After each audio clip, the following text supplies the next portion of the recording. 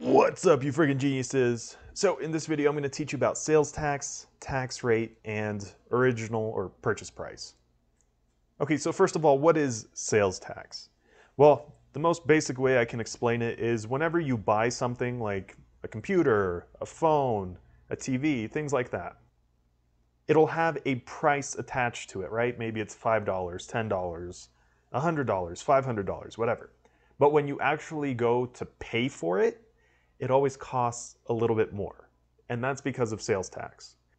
So sales tax is the little bit of extra money we have to pay on top of what we're already spending. Okay, and the two main equations that we're going to use are these two right up here. So let me explain those real quick. So the first one says that sales tax is equal to the tax rate times the original price. Okay, so the sales tax is going to be in dollars. And that's going to be equal to the tax rate, which is a percentage. But whenever we plug in a percentage into our equation, we have to turn it into a decimal. Okay, so just keep that in mind. And then we would multiply that by the original price, which is in dollars also. And then the second equation says that the total cost, which is in dollars, is equal to the original or the purchase price, which is also in dollars, plus the sales tax, which, like I showed you up here, is in dollars also. So let's jump into this first example so I can show you how we use these two formulas. Okay, so this first problem says, I bought a Justin Bieber body pillow. The tax rate was 6.5% of the original price. Okay, and then it says find the sales tax and the total cost if the original price was $22, okay? So let's start with the first problem right here, okay? Find the sales tax. So how do you find sales tax? Well, it would be this formula right here, right? So the sales tax, which I'll abbreviate as ST, is equal to the tax rate. What is the tax rate in this problem? Uh, the tax rate was 6.5%, right? But again, we can't plug in 6.5% right here we first have to turn this into a decimal. So how do you do that?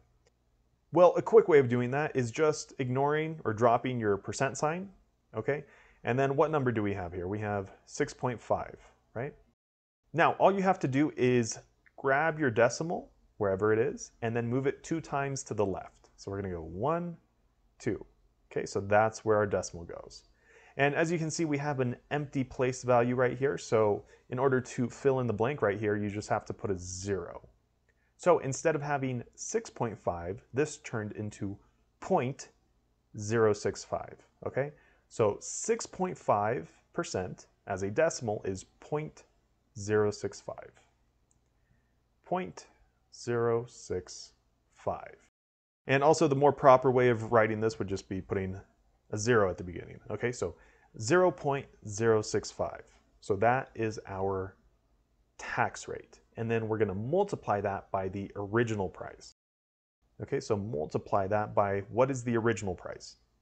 Well, it doesn't say it in the problem up here. It actually says it in the question right here. It says the original price was $22. And then you can simply plug this in 0.065 times 22 into your calculator and you would get 1.43. So the sales tax is equal to 1.43. 1.43 what? Well, remember, the sales tax, the units for sales tax is dollars, right? So I'll put my dollar sign right there. Okay, so the sales tax is equal to $1.43, or in other words, $1.43. Okay, so that's how you solve the first problem for the sales tax. Now let's go to this second problem right here. So it says find the total cost if the original price was $22. Okay, so remember, the total cost, which I'll just abbreviate TC, total cost, is equal to, right, it's equal to the original price. So what was the original price again? $22, right? Plus plus the sales tax, okay? And what was the sales tax? Well, we just found it in the first problem, right? The sales tax was equal to $1.43. $1.43. Okay, so this is in dollars and this is also in dollars, right? So what is $22 plus 1.43? Well, let's add up the whole numbers. What's 22 plus 1? That's 23, right? And then what's our change? Well, $22 doesn't have any change, but we have 43 cents right here, right? So we would just tack that on at the end. Okay, so that would be your total cost, $23.43. Okay, so let's do one more example, and this time we're gonna have to find the tax rate. Okay, so this problem says I bought a new watch for $50 plus tax. The sales tax was $3.80. What was the tax rate? Okay, so we're looking for the tax rate in this problem, right? Which one of our formulas has the tax rate in it? Well, it would be this one right here, right? Okay, so let's fill in what we know so far. So this formula says the sales tax is equal to all this, right? So in our problem, it says the sales tax was $3.80. So I'm going to write that down. $3.80. Okay, and that's going to be equal to, right? Equal to the tax rate. We don't know the tax rate yet, so I'll just put an R right there for rate. And then we're going to multiply that by the original price times the original price. What was the original price? It was $50. Also, how do I know $50 is the original price and not the total price or the total cost?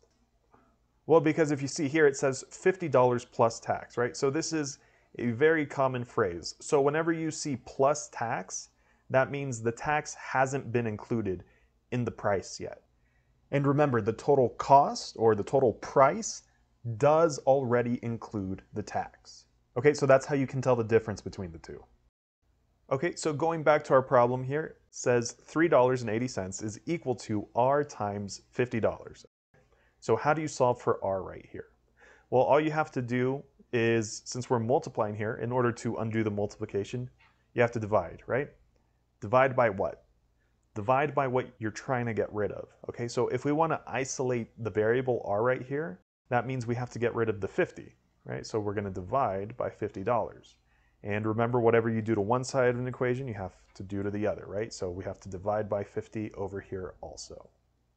Okay, so let me clean this up a little bit.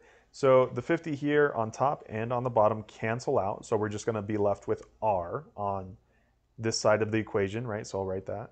So r, and then that's going to be equal to $3.80 over 50. 380 over 50. Now 380 over 50 is the same thing as 380 divided by 50. So if you plug into your calculator 3.80 divided by 50, your answer would be 0.076. So that's equal to R. Okay, so your tax rate is equal to 0.076. But remember, the tax rate, the units for the tax rate have to be in a percentage, right? So we have to convert this decimal right here into a percent. How do you do that? Well, a simple way of doing that is simply grabbing the decimal point right here and moving it two times to the right. Okay, so you'd go one, two. So that's where your decimal goes. Okay, so instead of having 0.076, you would just have 7.6. Okay, 7.6. And remember, this is a percent. So your tax rate is equal to 7.6 right? So that would be your final answer. All right, guys, so that is how you find sales tax, tax rate, and total cost. So if you found the video helpful, definitely leave a thumbs up down below. And if you have any other questions or want to see any other examples, just let me know in the comment section below. Also, there's a couple playlists attached that I think you'll find helpful, so definitely check those out, and I'll see you there.